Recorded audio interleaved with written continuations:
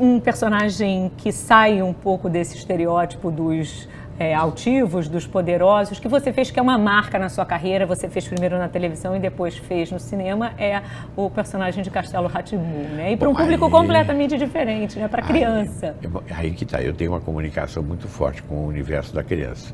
Então, eu acho que realmente, se tem um trabalho que marcou a minha vida, a minha carreira, foi justamente o do Castelo Ratimbun.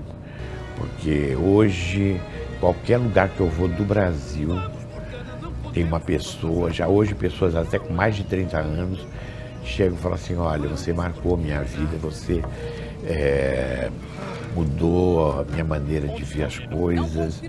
É, o, o, professor Vitor foi fundamental para a construção da minha personalidade. Aí é que eu acho que justamente o papel transformador do cinema, da televisão, do teatro, das artes em geral, e o papel da, e a responsabilidade social do ator. Né?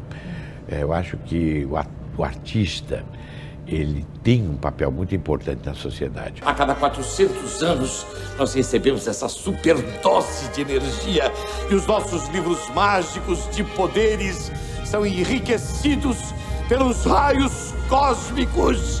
Ah! Das decapitações, por exemplo, você vê, é, é o problema, vamos dizer, dessa violência dentro do, do, do, do sistema carcerário e também toda a questão da comissão da verdade, da investigação dos crimes cometidos durante a ditadura.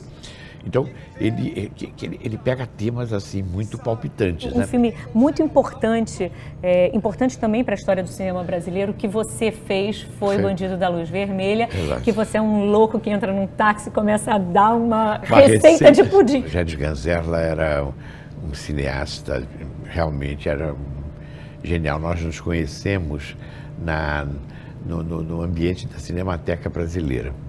É, eu era um cinéfilo desde garoto, eu com 12, 13 anos vi uma média de 400 filmes por ano.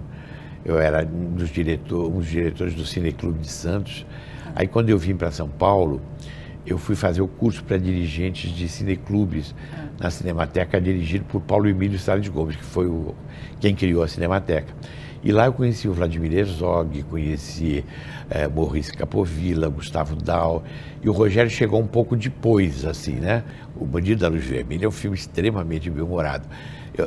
E aquela tanto... receita, vem de onde? Aquilo não, ali era, aquilo era imagine, aquilo, aquilo foi uma alucinação. Ele, ele chegou para mim e falou assim, você tem que dar uma cantada no, no, no, no, Bandido da Luz Vermelha. Ah.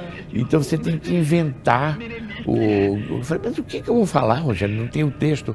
Ele falou assim, sei lá, dá uma receita de pudim de maracujá para ele. E aí eu comecei, então, a sedução do meu personagem com relação ao, ao Bandido da Luz Vermelha, eu convidando ele para ir na minha casa que eu ia fazer para ele um pudim de maracujá. Essa sequência é considerada antológica. É, é uma loucura, meu pudim de maracujá.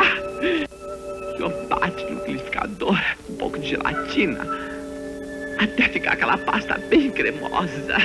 Leva leite de coco? Leite de... Muito leite de coco, mas muito leite de coco. Cinco minutos de leite de